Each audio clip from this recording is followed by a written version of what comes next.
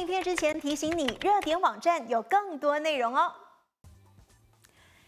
由缅北果敢军和缅甸军政府进行了一个多月的缅北内战，在中国的斡旋之下，对外宣布达成了临时停火协议。但是这一边厢停火协议才刚刚宣布，另一边厢果敢三军联盟当中的德昂军还是和缅甸军政府在老街的西区继续开打，令缅北局势持续升温，似乎是边打边谈。那在停火协议的消息传出之后，中国外交部发言人毛宁向媒体证实，在中国斡旋和促推之下，缅甸军方和果敢、德昂、若开军三军联盟在中国昆明举行了和谈，就临时停火和保持对话等事项达成了协议。毛宁指出，目前缅北冲突的交火明显下降，这不仅符合缅甸相关各方的利益，也有助于维护中缅边境的安宁。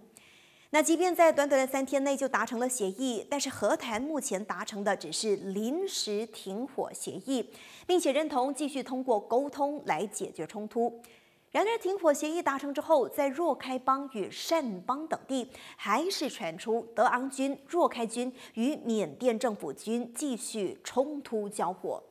虽然有迹象显示，果敢首府老街东区的战火开始停了下来。但是东边不打，西边打。德昂军连续几天在汕北和木姐，在汕北还有木姐地区继续和缅甸军政府爆发冲突。缅甸军方呢也通过了战机、火箭炮还有火箭弹进行空袭和攻击。不过缅甸政府发言人已经表示，接下来将会与果敢同盟军等相关的民族武装在本月底再举行一次的会谈。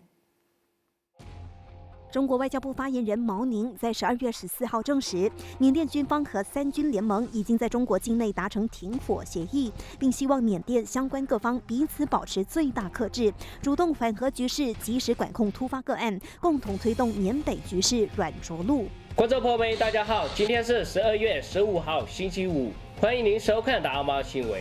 就在中国证实各方已经达至停火协议之后，果敢同盟军三支部队之一的德昂邦在他的官方新闻网站指出，缅甸政府军向南坎市难民营空投了重型炸弹。在十二月十四号凌晨三点半，三家兄弟联合军再次攻打了一百零五码缅甸这边军营地。此次攻打中，缅甸这边军使用十一次战斗机、十二枚连发火箭弹。缅甸德昂邦较后也发布消息，指德昂军已经对缅甸政府军进行了重大打击。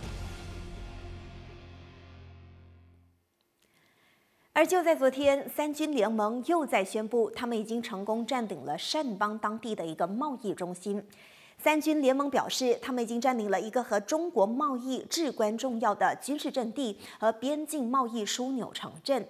分析人士指出，这是缅甸军政府从二零二一年夺权以来所面临的最大军事挑战。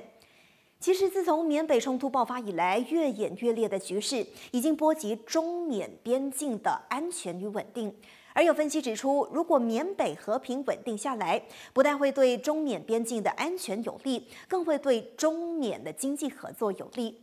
在国际社会二零二一年对缅甸军政府施加制裁之后呢，中国成为了少数还是有投资缅甸的国家，经济总投资额高达一点一三亿美元。